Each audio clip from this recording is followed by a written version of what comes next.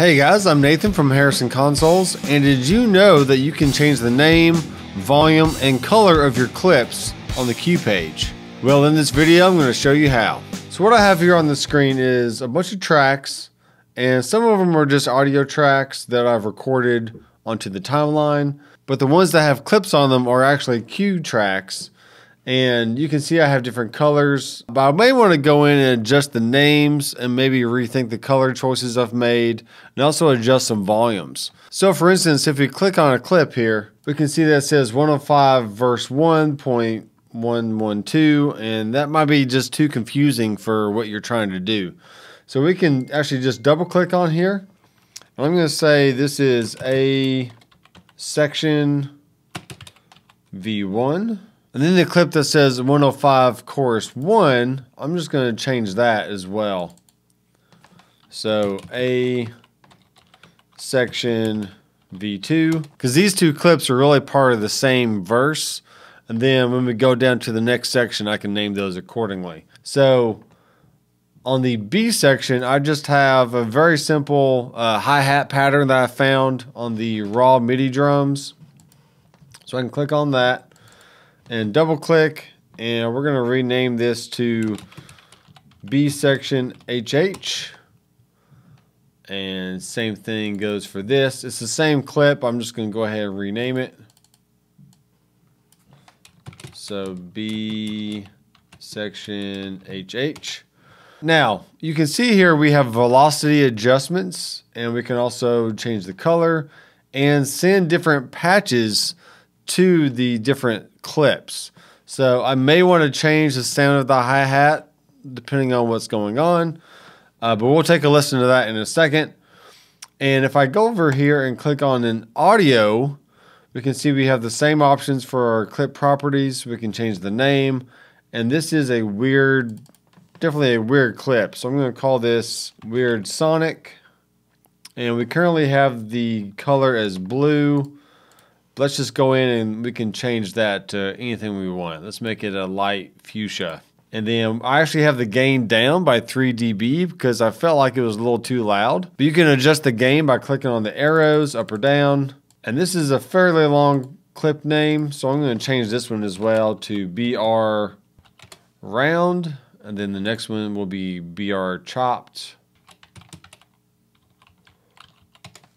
So now that I've shown you how to change the colors and the names and also adjust the gain, let's go ahead and listen to what we have.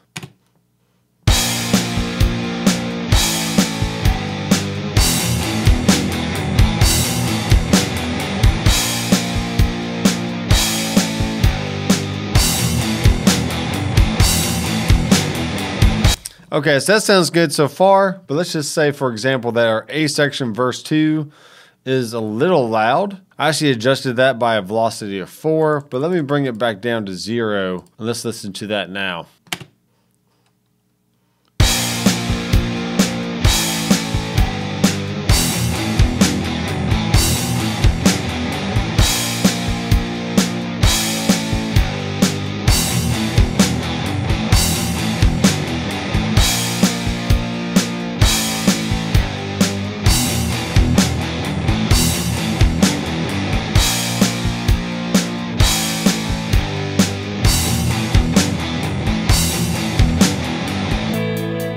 Okay, here's our B section. Notice the little hi-hat pattern I have going on.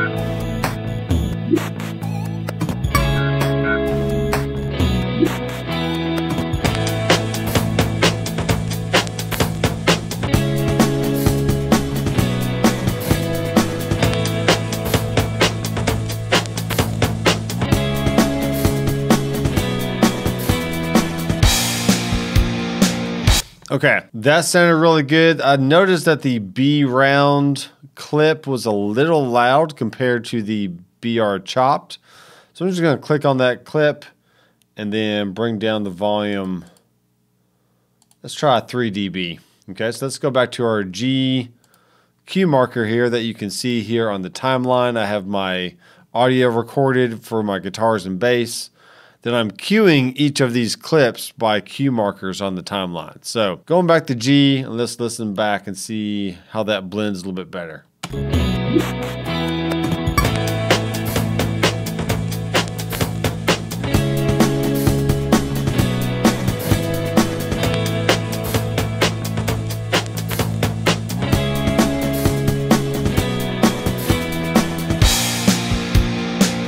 Okay, one more thing. Let's do this.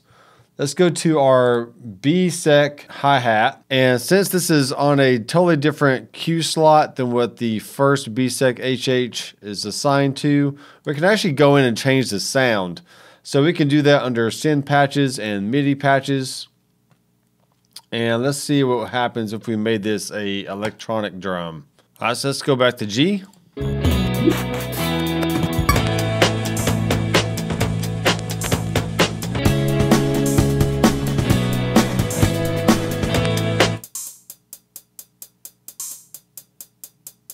Okay, so there's that hi hat versus the one that came in on E.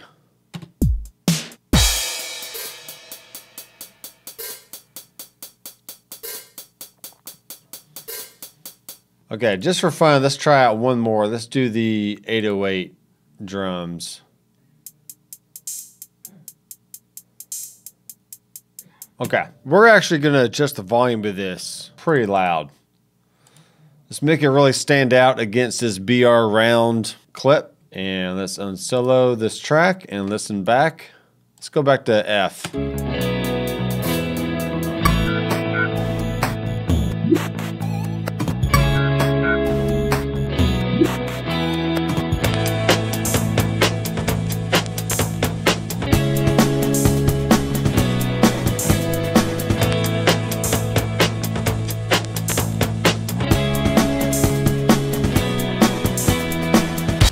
Okay, great. So there's other ways you can modify this arrangement. We can take the B section hi-hats and put them on a totally different track and add some delay, maybe some reverb, whatever effects you want. So I hope this has been helpful to show you how you can change the names, the color, and the volume adjustment of your individual clips. And go try this out for yourself and see what kind of music that you can create. So if you like this video, be sure to like, subscribe, and click the bell down below.